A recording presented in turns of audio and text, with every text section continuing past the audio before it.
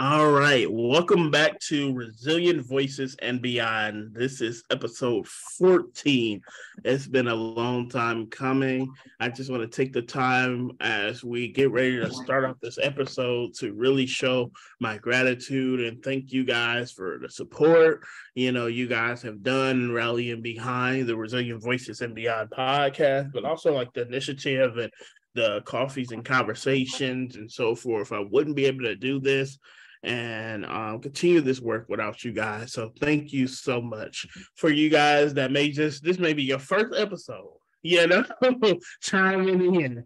My name is Michael D. Davis Thomas, aka MDDT Speaks. It is my initials, you know, because I had somebody ask me, you know, what does MDDT stands for? I was like, you know, it's my initials, you know, so it kind of sounds like a wrestling move, you know, somebody hit him with the MDDT, you know, but no, um, that's you know who I am. I've spent a little bit over 11 years in the Michigan Child Welfare System.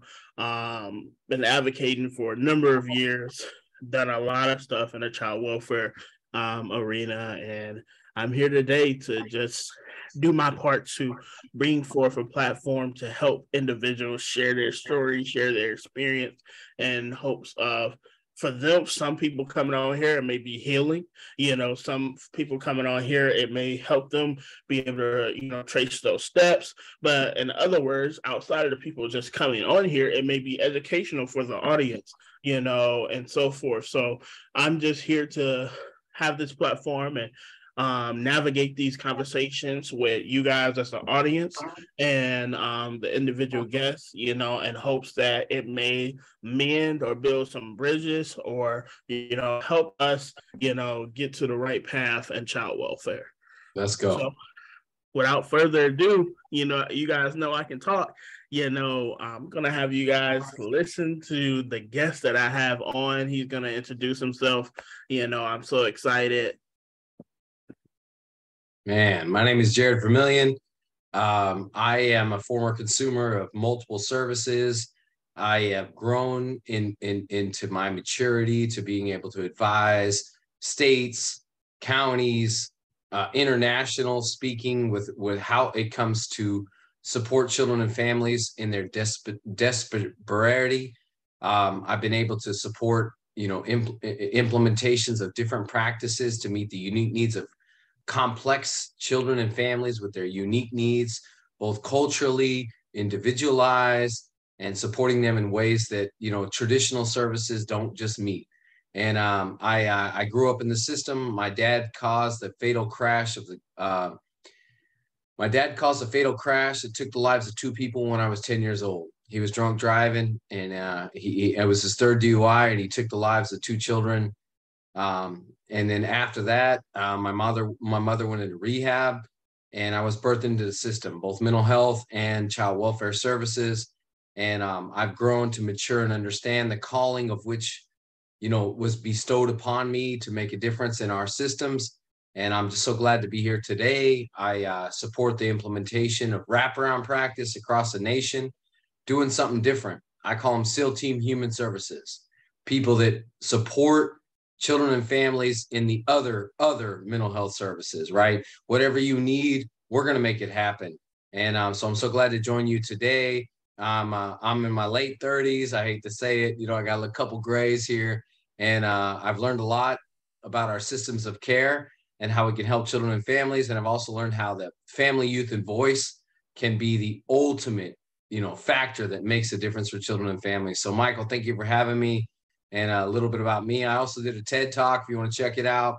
Um, superheroes heal superheroes, and um, I'm so glad to be here. Thank you, Michael. No problem, no problem.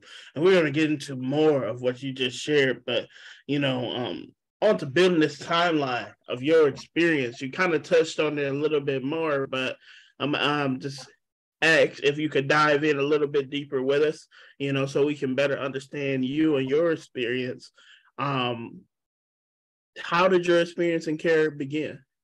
Yeah, so I was a, a child of extreme poverty. I mean, we had a hole in our trailer park in the roof that some people call a skylight. That's where the cats came in. The cats hmm. came in through that hole. They uh, they took over our house. Um, we had no food. We had you know all the, uh, the the the normalities of what most people have. We didn't have. My mom was experiencing method meth addiction. My father was a severe alcoholic, and um, we grew up every day in poverty. You know, I would go to school wearing shoes two sizes too bigger for me because they were cheaper at Ross, and um, uh, the, the the systems that are supportive. We were in a rural community where the community, the the formal systems didn't necessarily reach our community, and so uh, we didn't get the supports and the resources necessary to help us out. And um, I grew up, AKA in the hood. You know, like um, I was uh, involved in child welfare services when my when my dad went to prison and my mom went to rehab. I was placed with my auntie um, I, after a short stay of juvenile probation, I was in Jamison Center, which is in uh, juvenile hall, because they didn't know where to put me. So I was put there for a short period of time. My siblings were separated. My sister was put with my grandma. My brother was put with his grandma, and I was placed with my auntie. And um, we navigated life on life's terms, given the circumstances. And uh, I was that one kid that they called me the preacher's kid. They called me because I could have gone down the left road, right? and uh, involved in criminal behavior and um, you know kind of rebuck the system but instead i chose to embrace the circumstances of which i was a part of my mom always said i was going to be a preacher um, and i'm a different kind of preacher i, che- I, I preach child welfare services and um, you know we've experienced poverty. We've experienced criminal injustice cultural injustices. Um, we've experienced you know what it means to be like a child who every every Saturday, my grandma, who had no money at all, took us to go visit my dad, no matter what prison he was at. He was in almost every prison in the state of California, and uh, she found a way to make it happen, and that found a way to, to you know to to grow who I was and to make somebody who you know comes back to make a change in the system. And uh, I'll just kind of leave it leave it at that. I, I experienced mental health you know concerns.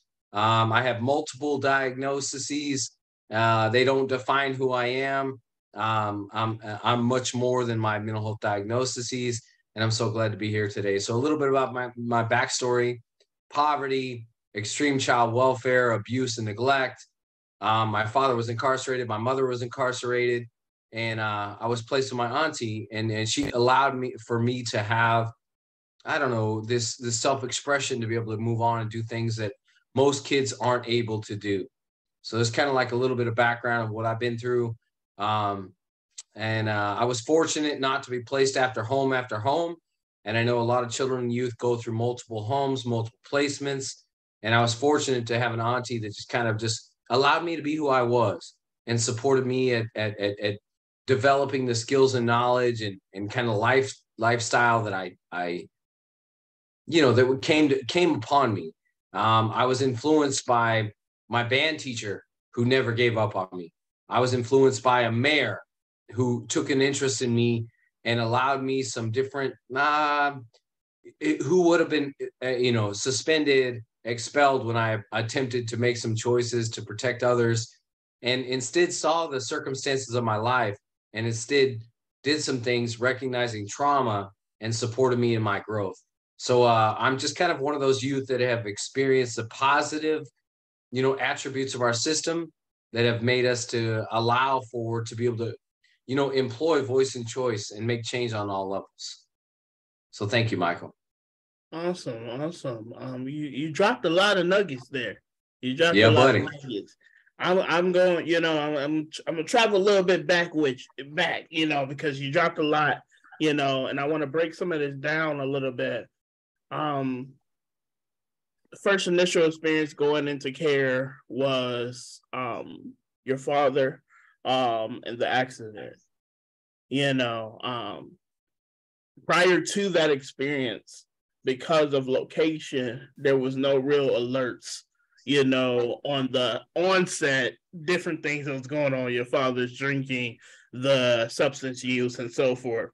So, prior to all of that, you know, if it wasn't for the accident, you know, you probably would have still been in that environment due to location of things, you know, who knows, you know. Um, so my question to you, um, because we when we think about different things and stuff like that, you know, um, we don't know really our reality may be foreign towards something until something traumatic happens right. where someone tells us like you weren't supposed to be in this environment do you recollect back to that moment you know of realization that mom was doing drugs you know dad had you know alcohol problems you know and so forth and my life wasn't normal. This is this is not what everybody goes through.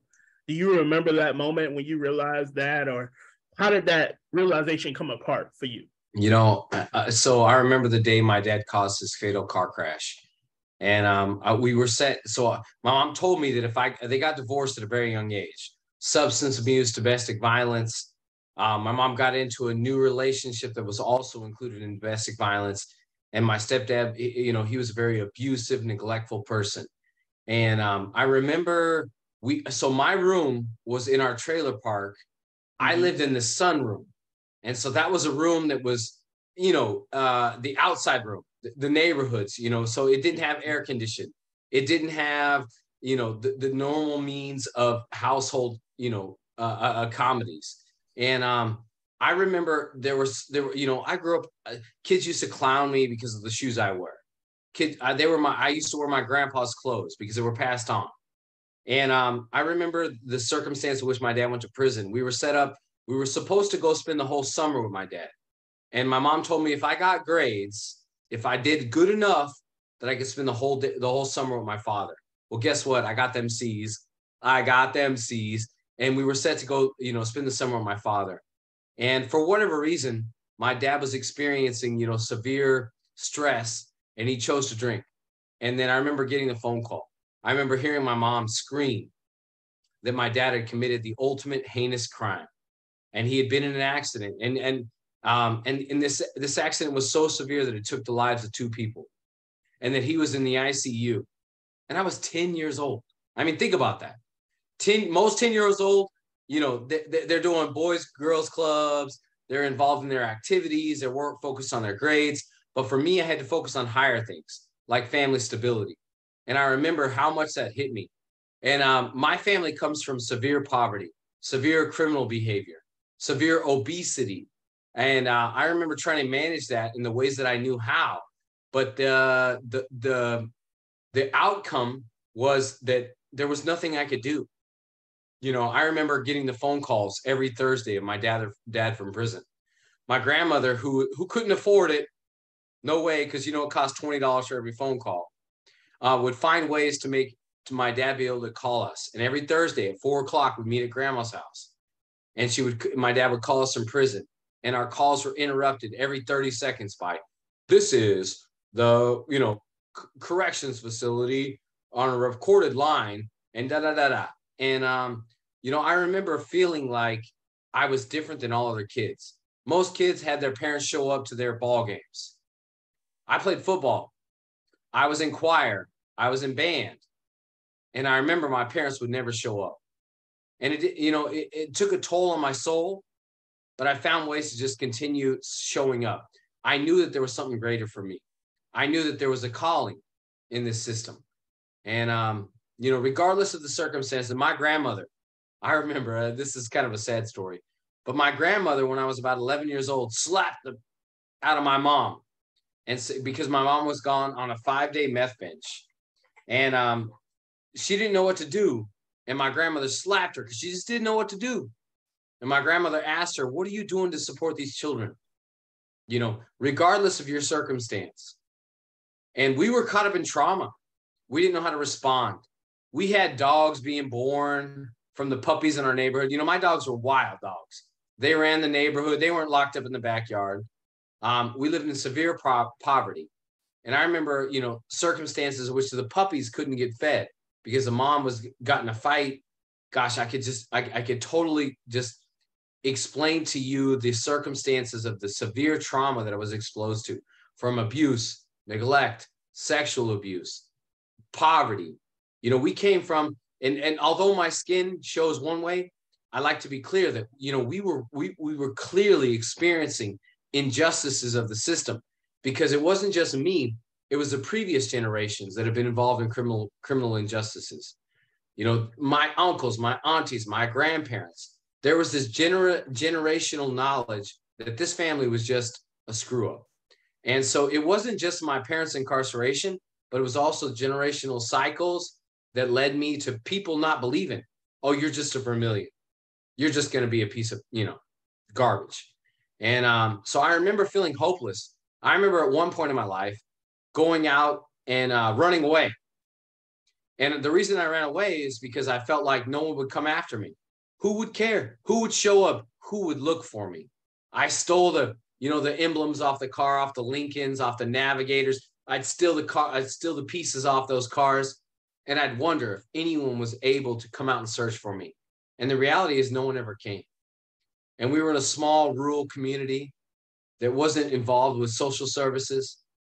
And um, that led toward, I, I guess, an opportunity for me to be successful.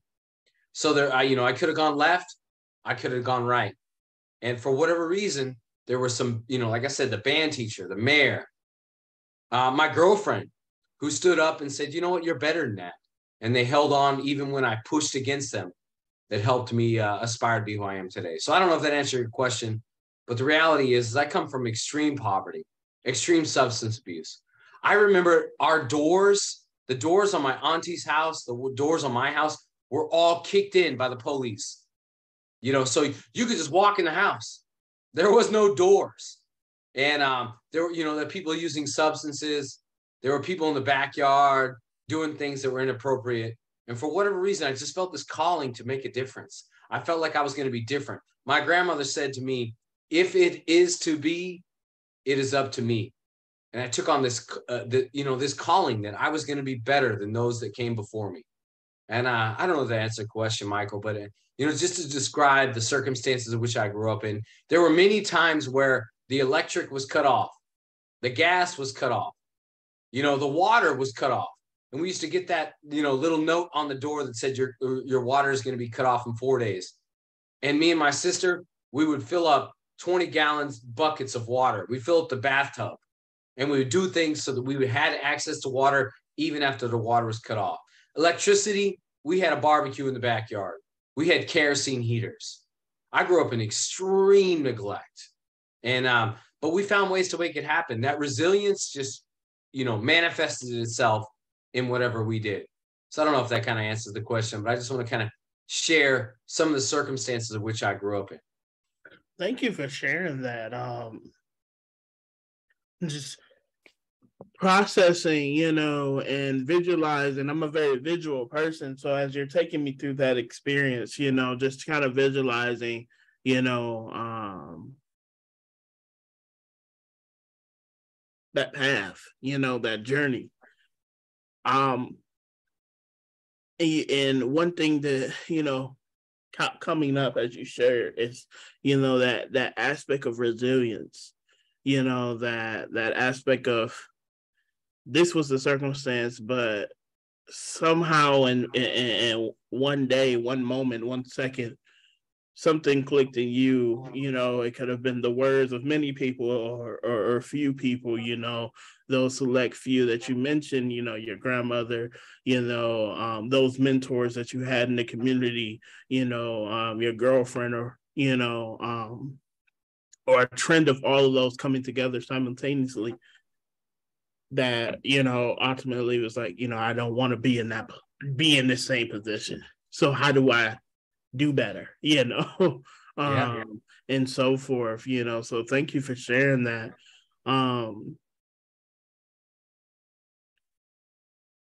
you um spoke about all this happening around you, you know. Um, I mean, it was regular for, for the helicopters to be cruising around.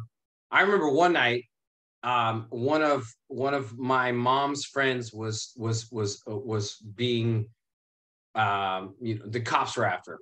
And I remember him knocking on my window saying, Jay Jarred, Jarred, let me in, let me in, you know. And I didn't know what to do because that was my family, that was my kinfolk. And so I let him in, and I hear the police, you know, sirens coming around, and then they beat on our trailer park door and they came rushing in. and they arrested him. You know, I was 11 years old. I was a child, and that was my kinfolk. And um, so, I, you know, just to paint the picture of what it means, a lot of folks don't understand what it means to be in extreme poverty, to deal with the criminal behavior, the maladaptive responses to survive. You know, this man, he'd had criminal behavior, but he was just trying to survive. He was doing whatever means necessary from his cultural upbringing, from his trauma to be able to survive. And I remember letting him in the house and the cops rushing in. I was in my bunk bed, you know, 10 years old, my goofy hat on, and, uh, you know, being arrested. So, you know, just to paint that picture of, you know, these circumstances were out of my control. But as a youth, I just felt this calling. You know, there were pastors, there were teachers, there were community members that believed in me. And that's what genuinely made the difference. I don't mean to interrupt you, Michael, but I just, no. you know, just to, to paint a picture of this, you know, we didn't cook in the kitchen. We cooked out back because it was fire, because we didn't have electric. And um, anyways, there was this, there was this just just calling that there was this need to make change. There were people that were doing things to survive, regardless, uh, based on their circumstances. You know, they were doing whatever they could to survive in these situations. Anyways, thank you, Michael. Let, let me interrupt you.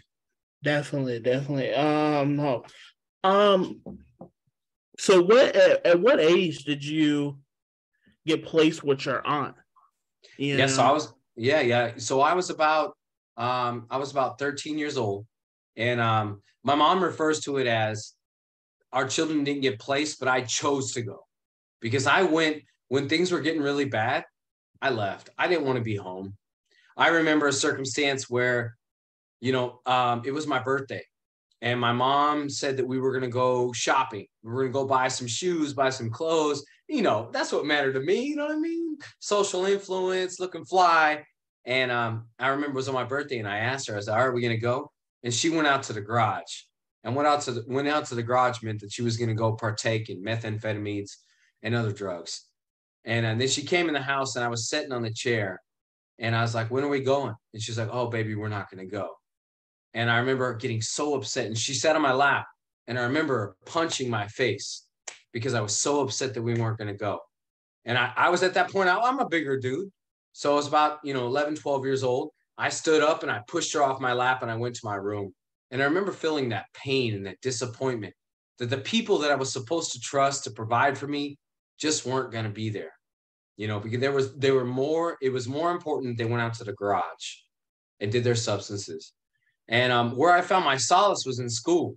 I went to school and i was seen as a musician. I was seen as a leader. In fact you know my friends would call me the preacher's kid because i'd seen the turmoil.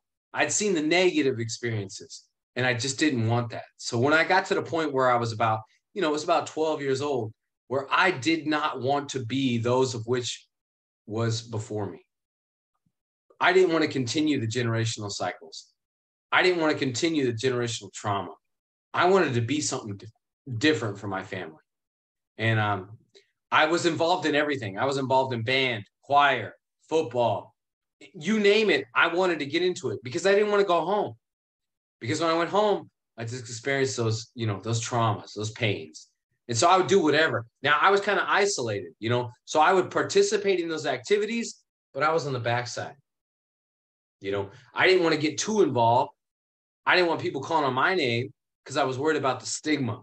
Because if they found out that Jarred, who's supposed to be this great person, is also from the block, from the hood, from criminal behavior, from substance abuses, you know, that that stigma carried around.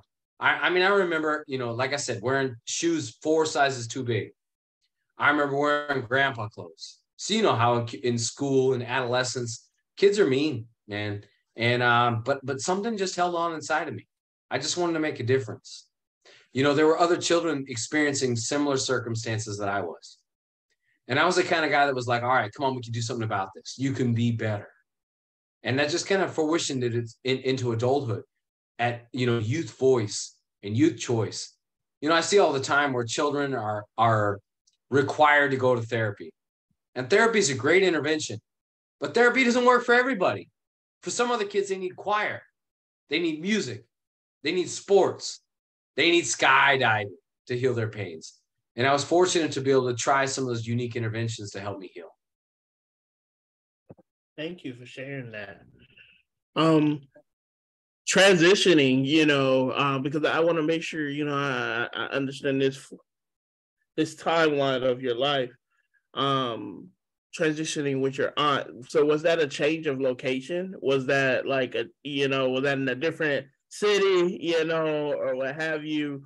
Um, and you spoke about high school, you know, or not high school, but school being a refuge and so forth. So um, walk me through these transitions, you know, um, moving into aunt, you know, um, or being placed with aunt, and then um, if that was, you know, was those relationships still kept? Like, you know, because uh, I know for some people they move in with a family member, you know, they still see mom. You know, right, right, right, right, right. Much didn't change, you know, or what have you. So, what did that look like for you when you moved in with your aunt, you know, um, and so forth? Yeah, so I'll, I'll share that my auntie, my uncle, Uncle Johnny, and Aunt Vicky, they were in the same town, and we were my my sister was placed with my grandma, my brother was placed with his grandma because he had a different father, and I was placed with my auntie. Um, and so my auntie, she had an extra room. And I, well, actually, let me rephrase that. I started off on a cot in the kids' bedroom. There was a cot, metal, foam, and I stayed in that bedroom. But they had different resources. They had money. My uncle worked at a mine, a coal mine, and he was able to, you know, he had resources. He was a part of, you know, you know, he was in a different place than my than my mother was. And when I was placed, my mom went to a different city she was about an hour and a half away at her placement with my brother. My brother went to a short stay with his grandma, and then he was able to move in with my auntie. Oh, sorry, with my mother. Um, and I was placed. I was sleeping on the cot, and eventually got my own room. Um, same city, which required, which allowed me to have those same connections. Because if I would have been placed in a different city, I would have lost all my people, my friends, my family, these people that genuinely cared about me. But I was able to stay in the same city continue the same activities. And uh, I think that really helped my growth. I was able to, um, you know, I was involved in these extracurricular activities. And if I would have been moved to another city, I would have started ground zero. Um, now they had resources, they had finances, they had food. They weren't worried about paying the house note every month. And so I, it was able to develop this level of security for me that I was able to thrive. I remember my auntie when I was my senior year of high school telling me, hey, do you want a Letterman's jacket? I'm like, what? I'm not fortunate enough to grow in a community where it's like that. And she was like, hey, let's let's plan on you getting a job. And she connected with the local pizza factory and she uh, had a conversation with the owner and they hired me as a dishwasher. And I started dishwashing, you know, and eventually worked my way up way up to the oven. And I was able to pay for my own Letterman's jacket and then she was able to, she told me whatever I made, she would double that. So I was able to buy my class ring, Letterman's jacket. I was able to go to senior night at Disneyland only because she had the resources to be able to sort me. If I was still in my old community, I would have never experienced any of that. So, like having those additional resources from my auntie in the same community, same connection to team, you know, those team members, aka natural supports, people that cared, that applied, you know, their, their themselves for me and had an interest, really made the difference. Um, I, I like to think about a lot of our youth that are moved from city to city, from state to state, and you wonder why the, the, the trauma of moving from one community to another is extreme. You don't know where to shop at. You don't know the neighborhood. And being able to stay in my own community was a significant part of my development and uh, ability to succeed. Thank you for sharing that. You um spoke about, you know, so initially, let me backtrack. So initially you went into a kinship situation, you know, and you know, um that ended up being a, a successful placement, you know, because you ended up staying there. Uh, I'm assuming for the rest of your right. adolescent life, you know, um, which is really awesome. Um, so my question to you is now you're replacing somewhat stability when you you know, because we all have those moments, you know, and I don't want to assume if you did or if you didn't, but you know, finally realizing, okay, so this is what stable parenting looks like. You know, um, what was your, you know, mental health? What were what was those thoughts in your head when you got to that mo- moment of realization that, you know, um, you know, because I, I I'm just assuming, you know, um, why couldn't my mom or why couldn't my dad do this for me? Yeah, because it seemed, it, it, you know, I, and I know we've talked before, but you know, seeing like very basic things like providing food, providing clothes, you know, providing a safe shelter, you know, and so forth, you know, um, choosing me versus what have you. Um, right what was that moment for you? What was those thoughts when you got to your aunts and uncles' place and you know they showed stability? Man, that's a, that's kind of a that's a deep question, right? Like, um, I remember, you know, 9-11 occurred when I was in placement. Mm-hmm. And I remember my auntie running in the room and saying, Are you okay? I remember my uncle, who was kind of he was kind of a different kind of dude. He was he was different. And um, I remember he would do little things like every Sunday he made breakfast. He fried bacon. And so every Sunday you smelt in the whole house bacon. And he would make kind of a, you know, a bacon egg scramble. And it started to develop some consistency, some repetition, some consistency for me. Versus where we lived at before, my mom was just doing whatever she could. My mom had good, you know, had a good heart and was doing whatever she could to survive including commercial sexual exploitation, just to pay the bills. Where, whereas over here, it was just a you know just a given that we were that when I go to the fridge, there was food in the fridge. The water was turned on. She regularly wanted to do the laundry. And I remember this, you know, just this feeling of of my needs being met. And also my auntie understood that I had a level of autonomy. I was not a young child. I was becoming a teenager. And so she would do things like support me, like, hey, you got football on Friday night. Do you got to ride home? You know, do you feel like you have, she would make breakfast. I mean, I, it sounds, you know, like just given. But when you grow up in severe poverty where people are just trying to survive, those things are a luxury versus when you enter in where you're in a secure, loving family home, you know, you have all those things. They just and so I remember times where it felt weird. I, it felt weird to like, what do you mean you care about? What do you mean you're you're thinking about you're going to be my game tonight? Oh, that's cool. I can't wait to see you there. And um, I remember this this upleave, uh, you know, this this uh, let's call it a uh, you know just a weight coming off my shoulders because not only was it me, I was the oldest sibling. My brother was 10 years younger than me. And so I remember having a breakdown one point when I was about 10 years old, 11 years old. My brother, my mom was gone on a three day, four day meth bench, and my brother had no food. There was no diapers, there was no milk. And I remember I crawled into a box. Keep it real with you, Michael. I crawled into a box and I cried inside this box and I punched on this box until I eventually fell asleep because I had no control. But in my auntie's house, I had control. You know, there were there were their minimal expectations met: food, shelter, security. That I was able to thrive. And and you know, no knock on my parents; they were dealing with their own trauma. You know, generational trauma. It didn't start with them. There were circumstances of which it led them to that. And uh, being able to, to to have that that place of peace. I had my own room. I had a TV on the wall. I used to turn on TV and watch as I wanted. My auntie was invested in the things that I was interested in. And, uh, you know, that made the world a difference for me. I can only imagine if I was placed into a foster home that did not know me, that did not understand the circumstances of my family lineage, I, I don't know that it would have gone the same. You know, they may have seen my behaviors of control because I had no control over my life. So I exerted control wherever I could. And fortunately, my auntie was able to allow me to have that control. If I was placed into a foster home, I don't know that I would have had that same level of control And I don't know that I would be where I am today, just to keep it real with you. Thank you for sharing that. Um, one thing I want to, you know, highlight, you know, as I'm listening to you tell your story, you know, and give us, you know, that insight is you have a unique perspective um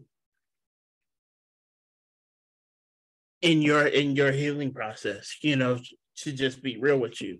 Um and I and I see that within myself, but I know it took me years to get to the place.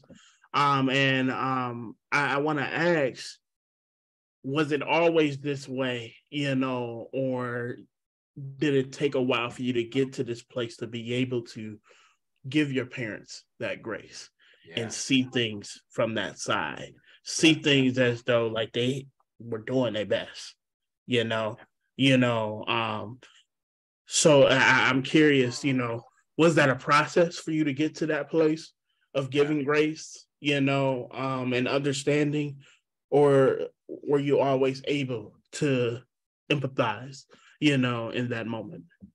Man, so so I deal with my my one of my diagnoses is dysthymia.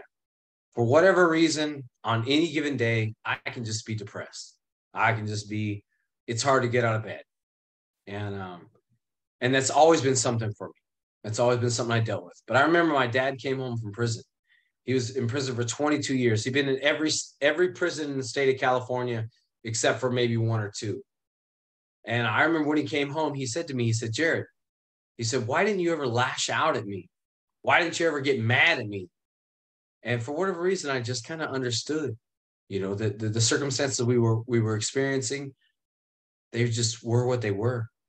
And um, but uh, but again, I experienced this dysthymia, this depression every single day, sometimes.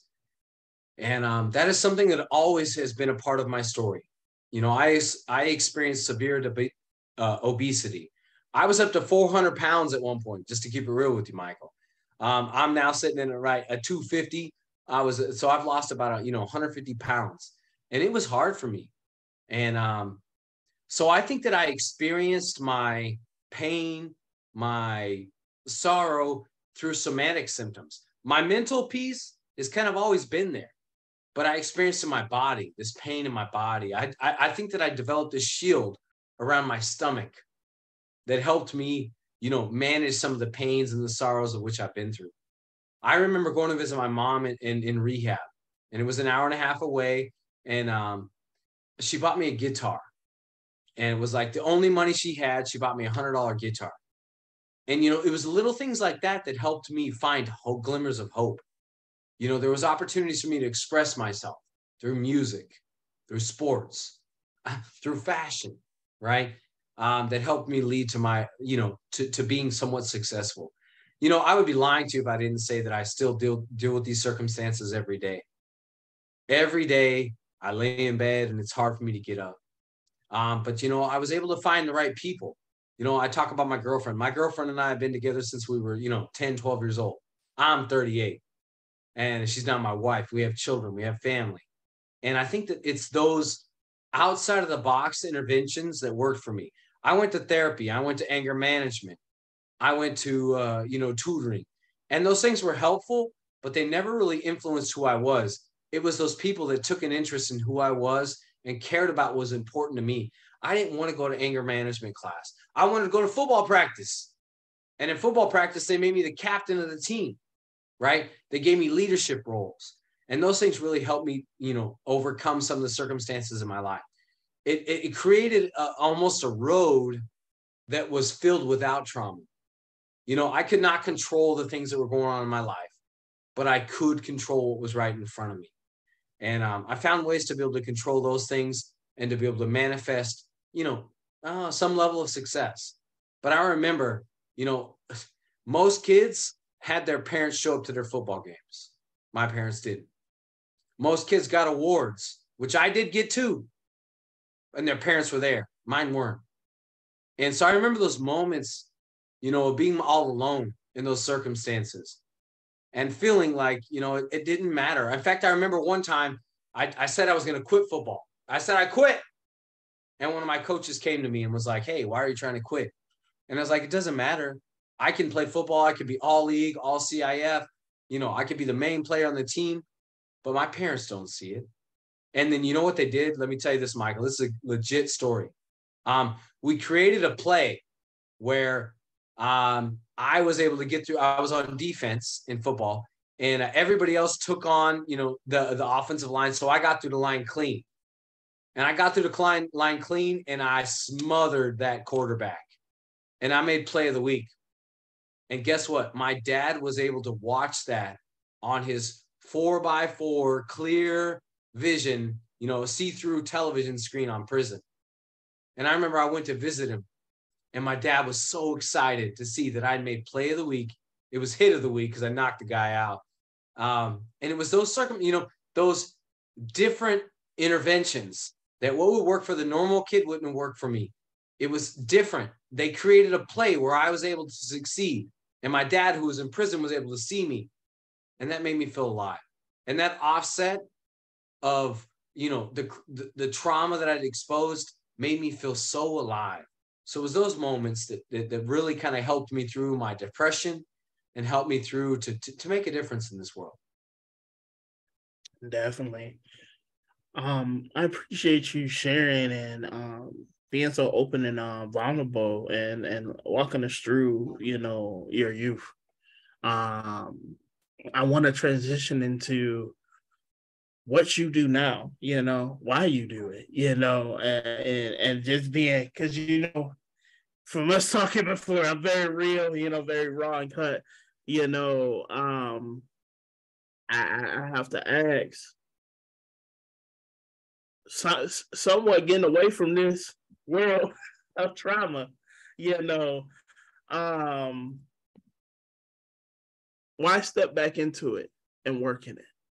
Man, that's a good question. So I originally started working. Well, let me just tell you, I, I was I went I was fortunate. I went to a city college, you know, a community college, and then I signed this contract that said if I if I complete the following conditions, I would be automatically admitted to San Diego State University. Mm-hmm. And um, so fortunately, EOPS, I forget what that stands for, extended opportunities for students. They knew that what I've been through. And so there was those additional supports that got me into this program that got me into a real university. Then I was able to go San Diego State. And while I was at San Diego State, I worked on my psychology degree. I started off in criminal law. Yeah, it wasn't for me. Um, I got into psychology. It was the right fit. And um, so then at the end of my psychology degree, I applied, I started thinking about I need to get a job. And so I applied for a behavior analytic job, you know, working with different behaviors, and kids that were similar to me because I felt this calling like I can understand what they've been through. You know, I can engage not only through language, through experience, you know, I can connect to those kids. And uh, so I applied for this job. And uh, uh, it was at Fred Youth Center in San Diego.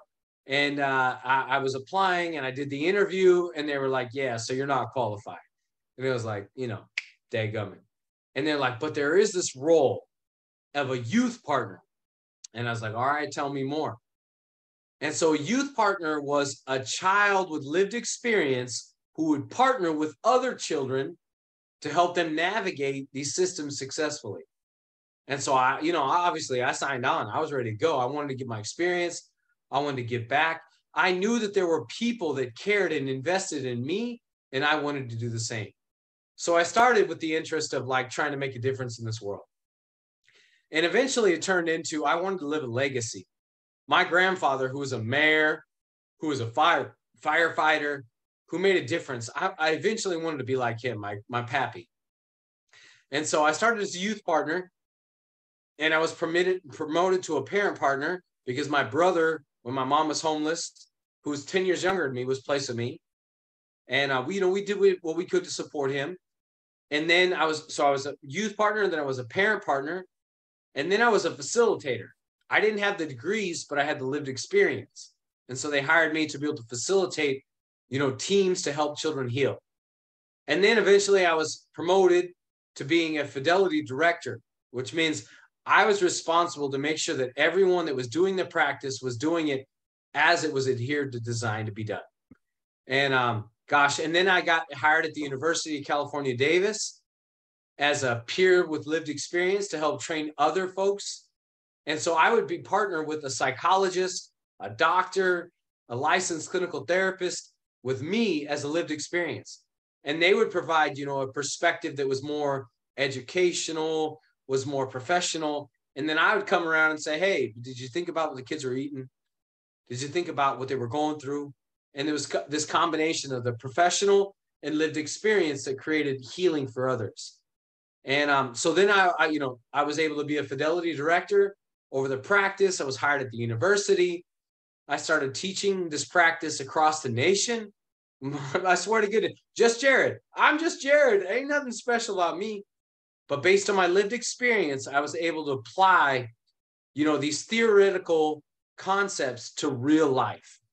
You know, it's like you want to be strength based. Okay, here's what it means to be strength based with a family experiencing poverty. Here's what it means to experience be strength based with a family experiencing generational cycles of criminal behavior. Um, and so, yeah, it, it just kind of came came to life. And uh, here we are, 20 years later, and um, I'm a national consultant and trainer with four different states, two different uh, countries, uh, helping child welfare and juvenile probation engage youth because it doesn't matter the intervention. You could have the greatest intervention in the whole world, the greatest evidence based practice. But if you can't engage youth that are going through those circumstances and connect to them, it's a waste of time. So I've been able to help agencies, counties, countries, states learn how to authentically engage with youth, regardless of their circumstances. So uh, I don't know if that answer kind of answers your question, but like there was a shift. I kind of applied for a job. They said no. They said we got this other job. And then I realized it was my calling. I could connect with kids that nobody else could connect with. You know, there was a kid experiencing, um, you know, uh, a psychotic disorder, and I was able to play music that they understood. I was able to speak language that they understood. I was able to relate to circumstances of which they've been through and they understood. So then the intervention, regardless of the practice model, was a better fit because the kids were open to making a change. And um, so it just kind of naturally happened for me. Awesome. Awesome. You know, it sounds like you stepped into your purpose, you yeah, know, in a way. And it, you know, and it kind of just wraps you up and so forth. So that's that, that's beautiful to hear, you know. Um, as I'm as I'm listening to your story and hear all that you have been through and overcome and, and persevere, you know, um, it's it, it, it's a lot, and you continue through, you know, um, despite the odds. You know, as another person who everybody knows about Detroit, you know? Um, right. where you know I was born and raised you know um, food deserts you know seeing people get beat up because they old the dope dealer was a norm you know? So coming you know from a, a different perspective you know of that urban you know um environment you know poverty that that bullying because of what you look like or what you're wearing you know and so forth um i can relate to your experience in so many different levels, you know, and all I can do, you know, is commend you, you know, for overcoming that and not, you know, um, keeping that to yourself, you know, paying it forward by sharing what you have, you know, overcome and how you've overcome it to help make it better for others and to help not only the people with lived experience, but help the people who have a more professional um, stake in this game, um, be able to see the impact of lived experience. You know, um, so I, I like to thank you for that. You know, and um, all you've done in that area. I only have a, a couple more questions for you. You know, um, one being, what advice would you like to leave here today? Man, um, you know, our systems are broken. You know, there are these professional systems that have great intention, but they don't understand the travesty, you know, the pain, the circumstances of children and families. And um, although the, the, the best intervention we can have is to partner with families and let children and families identify what their needs are and then meet them. You know, I, have worked with children and families that that you know they get assigned tutoring or anger management, and what the real reality is that they're hungry or that they're scared.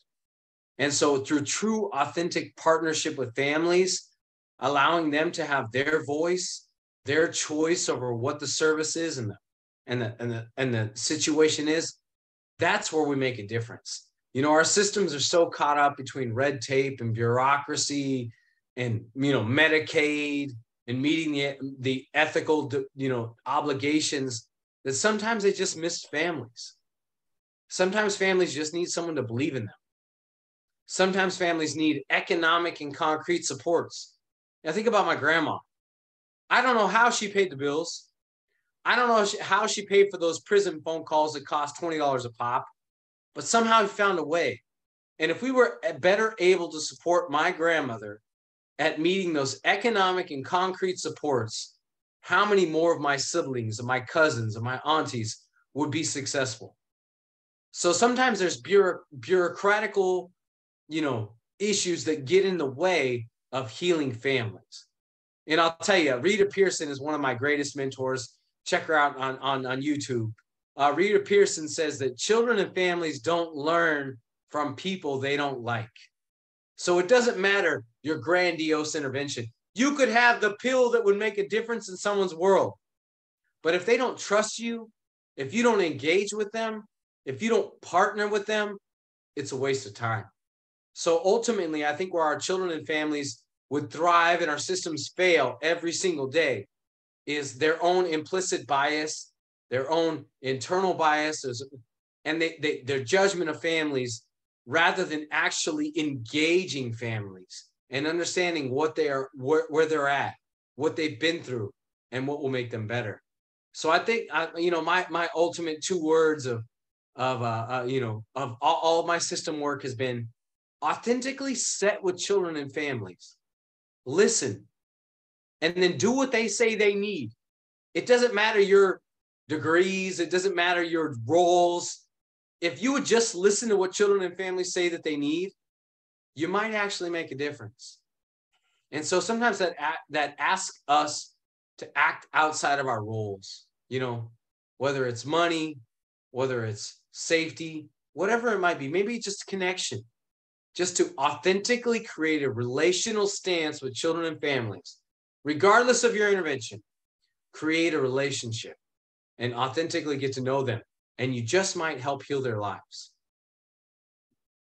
Thank you for that. Um, truly appreciate that. You know, um, I couldn't have said it better. I couldn't have said it better. Um, any last comments? And this is, you know, I know you talked about your TED talk. So if you got any rap albums, you know, another a TED talk, anything, you know, how people can follow your work, how people can connect with you, um, feel free to drop that here. Yeah, good looking out. So we've so um, I, you know, I worked at the university. I've worked at different agencies across uh, the state of California, and eventually I started my own consulting group. And uh, so we're called the Heroes Initiative. The Heroes Initiative is more of an advanced way of learning and connecting with, with staff to help them learn every day. You know, I think that, um, you know, we go through these trainings, we go through these workshops, we go through these keynotes, and we're inspired to make a difference. And then we go back to business as usual. And it's kind of like our brain just kind of whoop goes back to business as usual, doing things, you know, traditional. And, um, you know, the more outside of the box interventions, might actually make a difference for children. I worked with a, a great program in San Diego, California. It's called Community Wraparound. And so what we did is we trained a church, a bunch of reformed gangsters.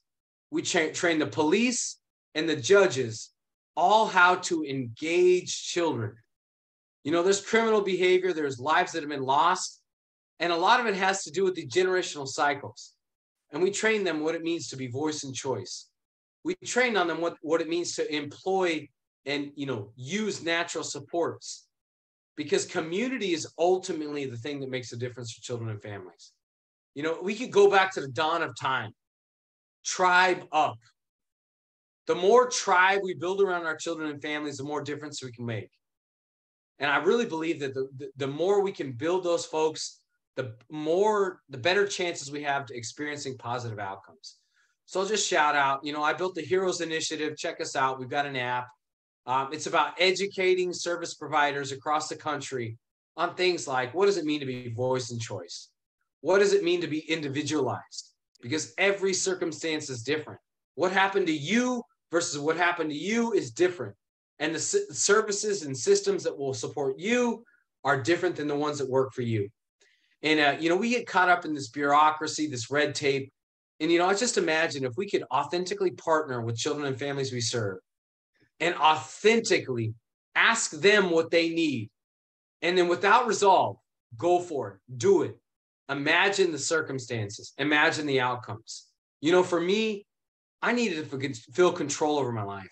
My father was incarcerated. My mother was in and out of rehab. My family experienced severe poverty, poverty and criminal behavior. I just needed someone to throw me a rope and help me dig out of that. And the traditional interventions didn't work. Therapy made me frustrated. You know, anger management made me feel like I was out of control. But there was coaches, there were band directors, there was my girlfriend, there was community members, family, pastors that all found a way to, you know, rise up around me that said, you know, we're not going to let him fail. So I think that the more that we can get outside of the box and build children and families around communities, tribe up, the more success we'll be. And I think our systems sometimes get involved in policy and get involved in, you know, ethics. And, you know, that doesn't always work with this family. So we want to partner with them and ask them what they need and then do it. Do it. And uh, so I'll kind of leave it there. The more we can understand our children and families, the more we can create hope and opportunities for them to succeed. Michael, thank you so much for this interview, man. Uh, I know I kind of jambled, ra- rabbled on, but uh, I get excited about this stuff. And I just really think that the more that we partner with children and families, the more they're able to identify what their barriers are. And then we should act on those, man. No, it doesn't matter the financial obligation. You know, it costs $400 to help this kid out with getting involved in sports and get him the cleats. It costs $12,000 to put him in a placement. It's easier to institutionalize children and families than it is to institutionalize new ideas. And that's wrong. That's completely wrong. We would rather lock them up than try something different. And in my world, we try different things. And those different things often lead to great outcomes for children and families. So thank you, Michael, for letting me be a part of your interview and uh, Resilient Voices and Beyond. There are thousands of youth like me. There are thousands of people that are making a difference. And I appreciate you for giving us an opportunity to speak on it. No problem. No problem. The pleasure's all mine. I appreciate you taking the time out. You know, um, we we we came up in two different eras. You know, of um, foster care, essentially. You know, so um, anytime that I have opportunity to learn, you know, from you know who came before me, and you know who's coming after me, you know, I, I'm take that. You know, um, uh, and I think you know um, that's one bit of advice I can offer to you know advocates, you know, consultants, child welfare workers, and so forth out there. You know, never stop learning as long as you're doing the work. You know, take the opportunities to do so. You know, and this is one way that I continue to learn, continue to evolve, continue to do the work that I do. So thank you for you know being open you know, sharing your experience, you know, not just with myself, but with the audience listening, you know, um, it's truly a privilege, you know, and an honor. Um, guys, this is episode 14. You know, um, I'm hoping to beat, you know, uh season one, but you know, I'm gonna try to stick to my timeline of ending season two at the end of December. You know, um, it'll be cramming a lot of episodes to try to beat, you know, season one. Um, but I truly appreciate you guys staying here, rocking with me, you know, um, listening to these individuals who, you know, have experienced, you know, and I've interviewed people with lived experience, parent partners, you know, people who have stakes in the game, you know, community leaders and so forth. So, you know, um, I appreciate you guys taking on this journey with me.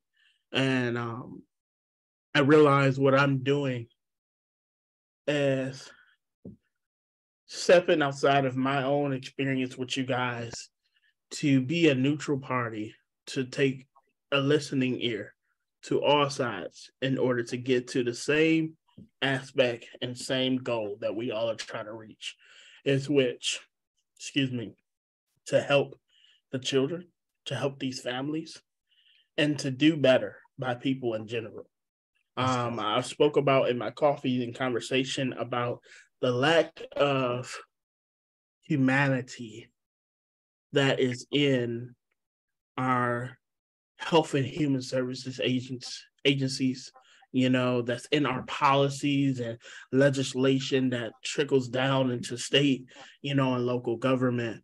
You know we strayed a little bit and i don't even want to say a little bit because i feel like this dialing down. We strayed a lot of bit away from the main goal and mission and um, Jarred mentioned that today you know um, really, you know, getting outside the box because we've kind of set ourselves in this box that has became a lot dense, you know. Um, I get it, you know, I'm never gonna tell somebody not to follow what their job is required, but also we have to get to a point where we realize what isn't working isn't working. Yeah. You know, and um figuring out how to preserve, prevent, you know, and alleviate you know because if if there is a open door that we can do better as a country and society to provide for our people within this nation and then extend out because i'm a firm believer we got to get ourselves together before we try to get somebody else together. And you know, us as America, that's a whole different episode. We like to go and do something for somebody else when we still, you know, got slavery, all this other stuff happening in our right. own country.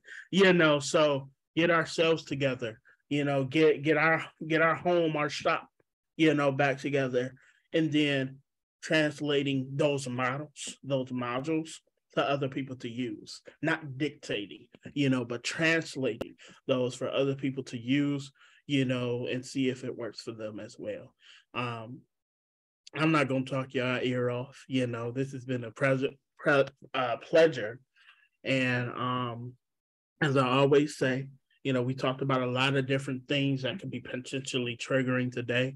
I ask that you guys take some time to debrief, do some mindfulness exercises, you know, do some kind of self care if you felt triggered, you know, and even if you did and you have not done anything like that today, do that today. Make sure taking care of yourself.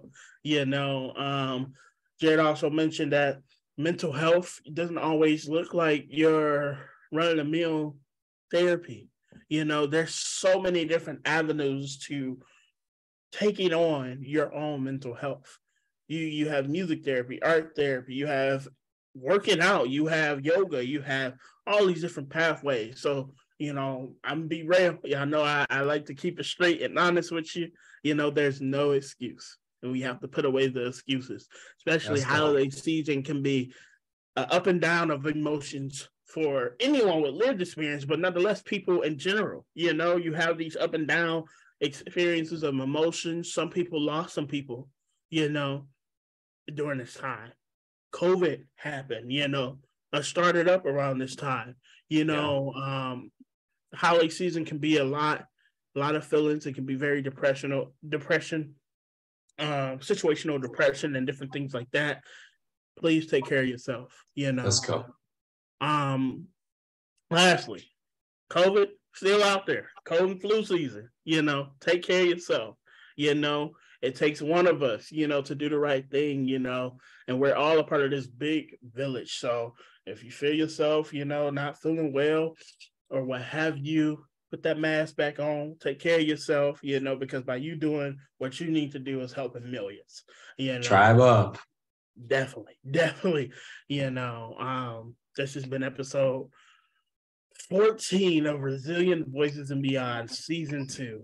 thank you guys. You have a good night, good morning, good evening, good whenever you're listening to this. Thank you. And Thanks, Michael.